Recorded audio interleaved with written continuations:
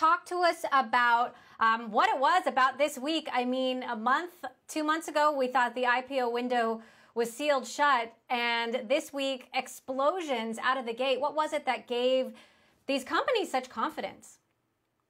Well, I think a lot of companies were targeting to come out right after Labor Day. And so this is the first crop. And don't think it's going to slow down yet. We've got busy weeks for the foreseeable future here leading up to the election.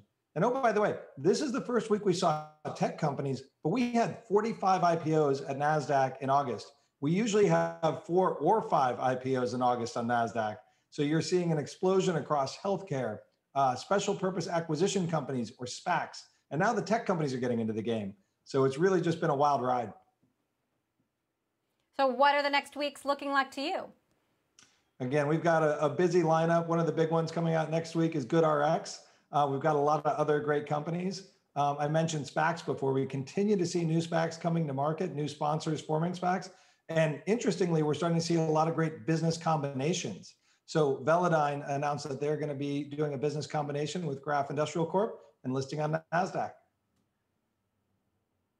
Now, you compete fiercely with the New York Stock Exchange for listings. They got Snowflake, they've got Palantir in the next couple of weeks planning to list on the New York Stock Exchange as well. Talk to us about the state of that competition. How big a deal is it when you lose a company that big?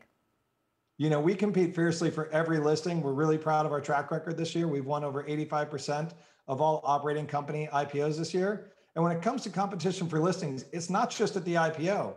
We've had a number of great companies, including uh, Keurig Dr. Pepper and AstraZeneca, announce their transfer of their listings from the New York Stock Exchange to NASDAQ. That's over $180 billion in market cap that's going to move their listing over from New York to NASDAQ.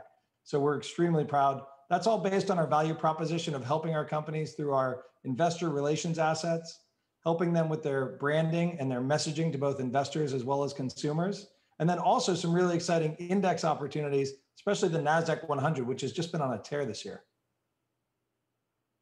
Okay, but you do put a lot of work into trying to win these companies over. Airbnb, for example, also expected to come out this fall. They haven't made a decision yet on NASDAQ versus the NYSE.